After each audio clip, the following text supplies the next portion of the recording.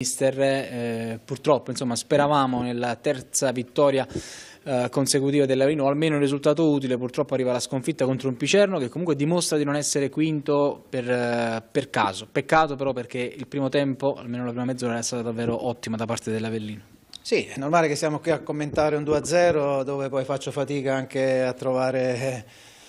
delle giustificazioni, però eh, la verità è che abbiamo fatto un'ottima mezz'ora dove insomma, da un momento all'altro potevamo andare in vantaggio con tante situazioni, tanti cross, alcune occasioni importantissime, una su tutte quella del colpo di testa di, di Trotta, ma eravamo pienamente in gara. Naturalmente oggi è stata la prima giornata di, comunque di, di caldo, era la terza partita di una settimana, nel momento in cui abbiamo dovuto un attimino rifiatare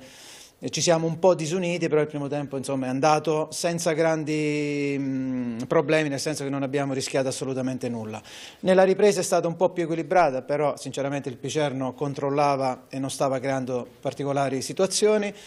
Eh, non so quanti cross abbiamo fatto, in una grande ripartenza di Sottini abbiamo creato i presupposti per una grandissima occasione, da lì c'è stata una ripartenza del, del, Picerno, sono andati in vantaggio e dopo è normale che dopo diventa tutto più difficile, loro poi si sono messi a 5, hanno chiuso un po' tutti i varchi, noi abbiamo continuato comunque a cercare attraverso gli esterni, le sovrapposizioni, i cross, eh, di accorciare almeno le distanze, purtroppo non ci siamo riusciti e stiamo, ripeto, qui a commentare ancora una volta una sconfitta con squadre che vengono qua, si difendono, entrano due volte in area di rigore e portano a casa i tre punti. Ecco, mister, a proposito dei tanti cross in area di rigore dal primo e secondo tempo, l'abbiamo vista arrabbiata tante volte no? sulla mancanza dell'attacco sul primo palo, insomma mancava un po' di cattiveria forse in area di rigore oggi, no, bisogna, naturalmente sui cross bisogna coprire bene, bene l'area, quindi naturalmente attaccare con un uomo il primo palo, attaccare a zona dischetto, a zona secondo palo, quindi abbiamo gli uomini eh, per, per, poterlo fare. Col 4-3 abbiamo naturalmente le due punte, la mezzala opposta che deve entrare, naturalmente nel 4-4-2 c'è le due punte e l'esterno opposto che deve entrare. E quindi sono situazioni che dobbiamo essere, come hai detto tu, anche un po' più decisi a, a sfruttare, ripeto, tanti cross perché in queste 4-5 ultime partite in casa che purtroppo ci hanno visto raccogliere poco, eh, non so quanti cross abbiamo fatto e, e, e poi diventa difficile soprattutto quando vai sotto, riuscire a, a riequilibrare le gare.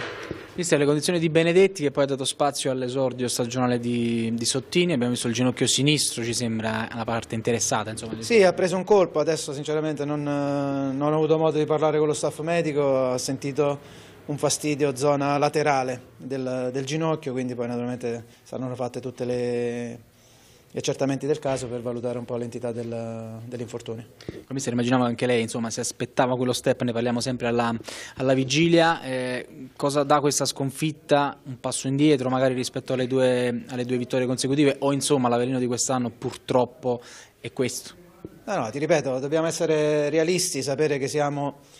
un gruppo che riesce in alcuni momenti a, a trarre il massimo, ad uscire anche da situazioni difficili, come le, le, quattro sconfitte che poi ci hanno visto vincere due gare consecutive. E, e poi ti ripeto, ci sono in alcune gare delle situazioni, degli, degli episodi dove li vai a pagare troppo a caro prezzo, ti ripeto, una ripartenza in una situazione dove veramente eravamo lì lì no? per creare una situazione di gol e, e vuol dire che questa è un'annata particolare, dobbiamo essere bravi a, a valutarle con lucidità, con obiettività, eh, senza farci condizionare troppo dal, dal, risultato in sé per sé, naturalmente eh, io vorrei sempre vincere, eh, non è così, eh, ripartiamo, sabato abbiamo un'altra gara tosta, e da domani iniziamo a prepararci. Con l'ultima mister, lei si è già espresso su Raffaele Russo, sulla corsia di, di destra, noi l'abbiamo visto nel primo tempo eccezionale a sinistra, poi è chiaro che ovviamente Di Gaudio che sta bene deve trovare spazio, eh, diventa difficile tra virgolette gestire insomma, questa concorrenza a sinistra? Sì, è normale che Raffaele comunque anche a destra è, è bravo, perché ti ripeto tante volte in allenamento lo provo e quindi naturalmente ha delle soluzioni diverse ma diventa comunque efficace allo stesso modo. E quindi volevo comunque dare, mettere un giocatore fresco a, in avanti, quindi Antonio che comunque è recuperato da un po' di tempo, sta facendo bene, anche mercoledì aveva fatto un'ottima gara, quindi ho pensato di metterlo subito e di spostare Raffaele a destra che è, è stato un po' meno, meno continuo, ma mh, eh, ripeto, ho dei giocatori davanti che sono, sono, tanti e quindi devo anche essere in grado di, di, sfruttarli nel miglior modo possibile in base a quello che, che vedo.